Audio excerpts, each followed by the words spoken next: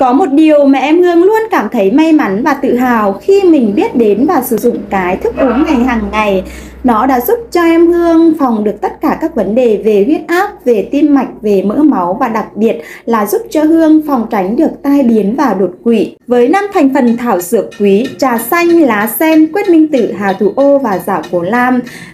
cả được sản xuất trên dây chuyền công nghệ hiện đại loại bỏ tất cả những tạp chất chỉ giữ lại những tinh chất quý. Nó sẽ giúp cho mình làm sạch mạch máu,